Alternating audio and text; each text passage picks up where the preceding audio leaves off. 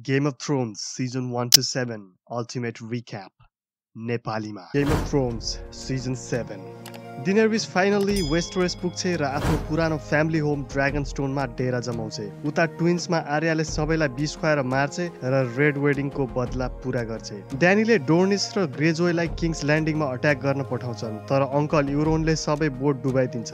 Uncle युरोनले यारालाई capture गर्छ तर Theon भाग्छ। ड्यानीले ग्रे वोमलाई क्यास्ट्रली रकमा अट्याक गर्न पठाउँछे तर ल्यानिस्टर्सहरू हाई गार्डनतिर लागेका छन्। हाई गार्डनमा लुट मचाएर ल्यानिस्टर्स त्यहाँबाट किम्ती सामान सबै आफ्नो बनाउँछन्। मदर अफ ड्रागन्सको पारा तातेर आउँछ झ्यापै ड्रागन्समा बसेर डिनेरिसले ल्यानिस्टर्सको सबै लुट चलाइदिन्छ। जेमी र ब्रोनले बाँकी गोल्ड किङ्स ल्यान्डिङ आफ्नो ज्यानमा खेली खेली पुर्याउँछन्। किङ्स ल्यान्डिङमा युरोनले इलारिया र उसको छोरीलाई सर्सीलाई सुम्पिन्छ र आफूसँग बिहे गर्ने बाचा निभाउन आग्रह गर्छ।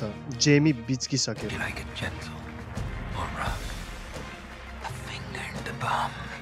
छोरीलाई बिस खुवाएर सर्सीले इलारियालाई आफ्नै छोरी मरेको हेराउँछे। त्यसपछि आइरन ब्याङ्कको कर्जा तिर्छे तर बदलामा अझै बढी कर्जा माग्छे। अँ अनि सर्सी फेरि प्रेग्नेन्ट भइसके सायद। सही कुरा हो। ड्याडी चाहिँ जेमी नै हो जोन्सनो ड्यानीलाई भेट्न ड्रागन स्टोन जान्छ तर रानीको अगाडि नझुक्ने भन्छ। ड्यानीले जोनलाई ड्रागन ग्लास माइन गर्न दिन्छ व्हाइट वाकर्सलाई मार्न अनि दुईजना बिस्तारै नजिकिँदै जान्छन्। ड्यानीलाई लडेर जित्न मन हुन्छ तर टिरियोन र जोनले सर्सीसँग वार्ता गर्न आग्रह गर्छन् किनकि व्हाइट वाकरसँग फाइट गर्न सकेसम्म ठुलो आर्मी चाहिन्छ। कुरा के छ भन्दा प्रुफ बिना सर्सीले पत्याउनेवाला छैन। सो जोन टर्मोन सर्जोरा जो भर्खरै ग्रेस्केलबाट स्याम टार्लीले उपचार गरिदिएको थियो बेरिक डोन्डारियन हन्ड थोरिस अनि गेन्ड्री गेन्ड्री फर्किसक्यो। सबैजना नर्थतिर एउटा जोम्बी क्याप्चर गर्न निस्किन्छन्। एउटा जोम्बी त समात्छन् तर ठुलो फसादमा सबैजना फस्छन्। सबैलाई फ्रोजन लेकको बिचमा व्हाइट वाकर्सले घेरेर राख्छन् गेन्ड्री भागेर हेल्प माग्न जान्छ। वालमा पुगेर गेन्ड्रीले वर्ल्ड रेकर्ड राख्छ।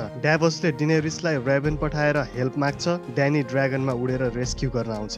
नाइट किङले एउटा ड्रागन बल्सीमा पार्छ अनि ड्रागनलाई पनि व्हाइट वाकर बनाउँछ। एक्कासी अङ्कल बेन्जन देखा पर्छन् र मर्छन् पनि। पाँच मिनटमै। सिजनको लास्टमा नाइट किङले जोम्बी विसेरियनलाई युज गरेर वालमा ग्याप बनाउँछ र आफ्नो आर्मी सिधै वालबाट छिराउँछ। नर्थमा यस्तो भइराख्दा किङ्स ल्यान्डिङमा धेरैजनाको मिलन हुन्छ।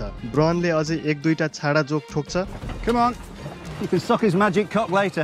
अनि सबै मेन क्यारेक्टर ड्रागन पिटमा भेट्छन् सम्झौताको लागि। सर्सीले मान्दिन टिरियनले मनाउँछ सर्सीले मान्छे। अनि फेरि भन्छे म मान्दिन मैले झुटो बोलेको। जेमीलाई झुटो बोलेको मन पर्दैन सो जेमी अनडेडको आर्मी फाइट गर्न सर्सीलाई छाडेर जान्छ। विन्टरफेलमा ब्रान्ड फर्किसक्यो। आर्या पनि घर फर्किन्छे बाटोमा एड सेरेनसँग सानो गप्पा लडाएर अनि नयाँ निमिरिया भेटेर। आर्या र सान्साको भेट हुन्छ। ब्रान्डलाई बाल छैन। लिटर फिङ्गरले फेरि स्टार्क सिस्टर्सलाई लडाउन खोज्छ। आफ्नो जलवा उसलाई जता पनि देखाउन पर्छ। तर दुईजनाले सिक्रेटली लिटल फिङ्गरसँग गेम खेल्छन् र little finger is dead finally स्यामले पनि जोन स्नोको बारेमा इन्ट्रेस्टिङ फ्याक्ट थाहा पाउँछ। जोनको बाउआमा रेगा टार्गेरियन र लायना स्टार्कले बिहे गरेको थिए र जोन स्नो अब बास्टर्ड रहेन। जोन स्नो आइरन थ्रोनको उत्तराधिकारी र डिनेरिसको भान्जा हो। एटलिस्ट जोन स्नोले आफ्नो अन्टीसँग भाँडाकुटी त खेलेन।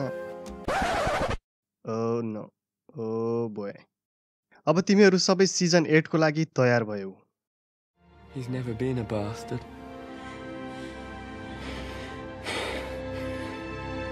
He's the heir to the Iron Throne.